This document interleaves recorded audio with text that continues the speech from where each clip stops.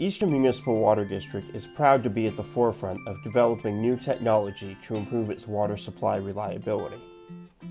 As part of its Groundwater Reliability Plus program, EMWD recently pilot tested a new closed circuit reverse osmosis technology at its San Jacinto Valley Regional Water Reclamation Facility to help remove salts from treated recycled water.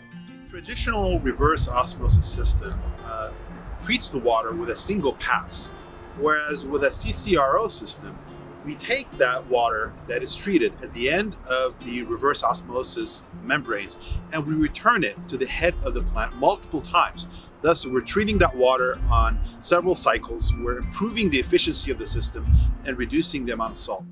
While traditional reverse osmosis results in 75% efficiency, this new technology has the ability to be 95% efficient, increasing water quality and quantity. By minimizing salts in its recycled water, EMWD will be better positioned to advance its purified water replenishment program, which will replenish the local groundwater basin with advanced treated recycled water.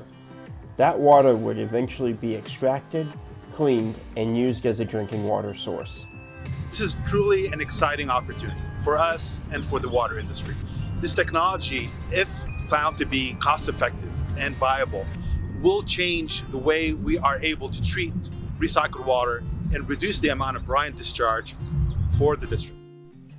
EMWD will have the data peer reviewed and make a determination if it will advance a full scale project as part of its purified water replenishment program.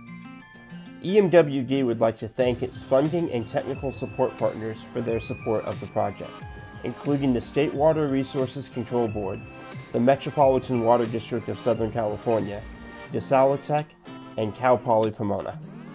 We appreciate their uh, contribution, both technical as well as uh, funding support, that has allowed us to advance this effort uh, to really testing whether this technology is going to be, as I said, not only beneficial to EMWD, but of benefit to the entire water industry.